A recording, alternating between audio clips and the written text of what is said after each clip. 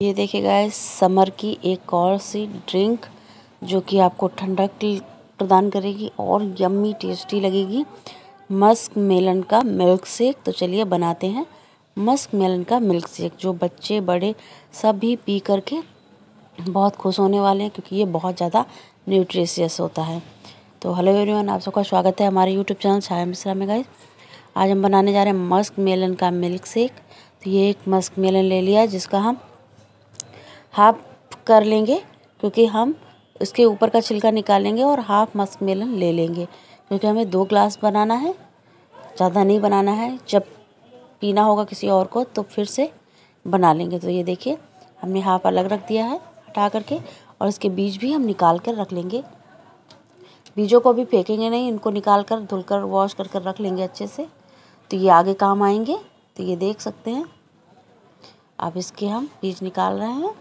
और इसके छिलके को छील कर मस्क मेलन के छोटे छोटे से पीस कर देंगे, जिससे कि ग्राइंडर में जब हम ग्राइंड करें ना तो ये अच्छे से ग्राइंड हो जाते तो ये देखिए, इस तरह से करते हुए हम छिलका हटा देंगे सारे मस्क मिलन के पीसों का। ये देखिए, और अब इस तरह से हम क्यूब करेंगे।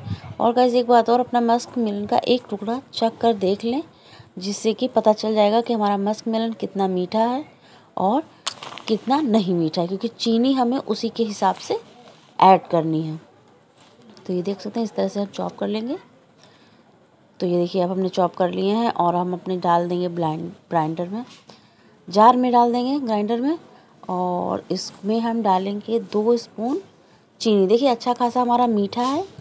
मस्क मिलन तो इसमें जितना हम दूध डालेंगे आधी ग्लास के करीब तो उसी हिसाब से हम चीनी ऐड कर देंगे। तो ये देखिए सॉरी एक ग्लास तो ये दो ग्ला दो स्पून हमने चीनी ऐड करी है और इसमें अब हम ऐड कर देंगे एक ग्लास के करीब दूध। ठीक है? ये गाढ़ा मिल्क है भैंस का, यानी थिक कंसिस्टेंसी का। तो एक ग्लास हमने दूध इसमें ऐड कर दिया है। ये देख सकते हैं, इसको हमने ब्लाइंड कर लिया है और थोड़ा सा दरदरा रखा है, बिल्कुल फाइन नहीं किया हुआ जिससे कि इसमें हल्के हल्के से जो जंक्स होंगे ना, हमारे दांतों के नीचे जाएँगे, वो बहुत अच्छा लगेगा।